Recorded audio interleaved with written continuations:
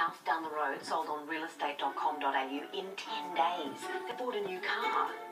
They're selling off market idea is crazy. Well, if you think selling a house in secret is crazy, then someone in this room needs to be a bit more progressive.